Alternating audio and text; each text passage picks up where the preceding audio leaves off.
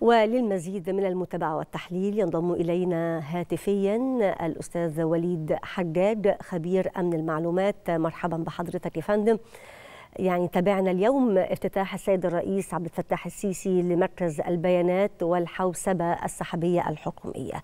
يعني الأهمية الاستراتيجية والاقتصادية لامتلاك مصر لهذا المركز.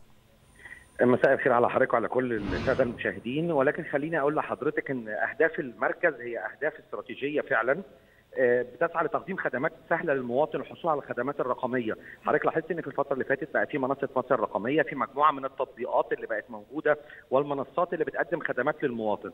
طبعا الحاجات دي مع ازدياد أنواع الخدمات اللي بيتم إضافتها من وقت للآخر، مع كمان وجود عامل الذكاء الاصطناعي لربط البيانات دي ببعضها وتحليلها واستنباط منها والتنبؤ بحاجات ليها، ده بيتطلب وجود مركز خاص للبيانات. عشان يحقق مجموعة من الأهداف زي زي ما قلت لحضرتك تقديم خدمات سهلة ومساندة الشباب لسوق العمل إن هو بيساعدهم ويأهلهم على القدرة إن هم يتماشوا مع سوق العمل وكمان ده بيشجع ريادة الأعمال وال... والاستثمار في مجال التكنولوجيا والبزنس وبيحفز الابتكار وده كله هو محوره بيبقى في الأساس المواطن المصري. عشان كده المركز ده معمول كله من خلال شركات مصرية وبيادي مصرية وبشباب مصري.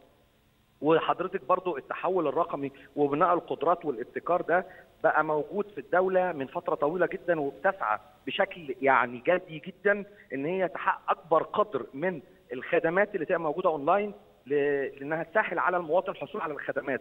ولو حضرتك تابعتي الفترة اللي فاتت تلاقي إن كان في سنة 2020 البنية المعلوماتية كانت حوالي أكثر من 100 قاعدة بيانات. وفي سنة 22 لما تم إطلاق منصة مصر الرقمية كانت عليها حوالي 130 خدمة ووصلنا حاليا إن إحنا بقينا 170 خدمة.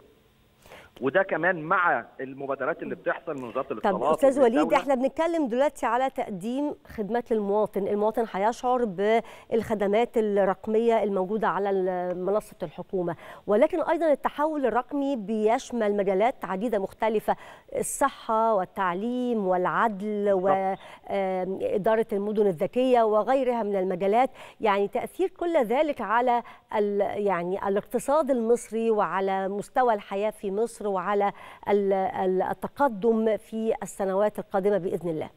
خلينا اكد لحضرتك إن المركز اللي تم إنشاؤه هو مركز cloud computing أو حوسبة سحابيه لأن نظرا إن بقت في أجهزة كتيرة وفي مؤسسات كتيرة وفي جهات موجودة في الدولة كلها بدأت تتحول رقميا فمن الصعب جدا إن يبقى موجود الحاجات دي على أجهزة كمبيوتر physical فقط. لازم يبقى في موقع تبادلي أو cloud computing موجود حوسبة سحابيه موجودة على ال cloud وموجود عليها البيانات عشان نقدر نتعامل مع الحجم الهائل اللي بتنتجه الاجهزه دي من البيانات. مفيش حد فينا دلوقتي لو قعدنا نبص كده هنلاقي إنه بيحصل على حاجات على الأقل خمس أجهزة بتطلع بيانات غير الخدمات الأخرى غير الجهات والمؤسسات والبنية التحتية للدولة اللي زي ما حضرتك ذكرتي وزارة العدل وزارة التعليم وزارة كله بقى دلوقتي تحول رقمي. الكم الهائل ده من البيانات عشان يتم معالجته والاحتفاظ به والتعامل معاه من خلال الذكاء الاصطناعي والتنبؤ ورصد أي حاجة عايزين نعمل لها رصد من أي نوع يجب إن يكون في مركز للبيانات. ده كمان نظرا ان هو من المراكز القوية جدا والأولى من نوعها في الشرق الأوسط. ده هيخلي مصر مركز استراتيجي في مجال البيانات والتعامل مع البيانات. نعم. أشكرك جزيل الشكر الأستاذ وليد حجاج خبير أمن المعلومات. شكرا جزيلا لك.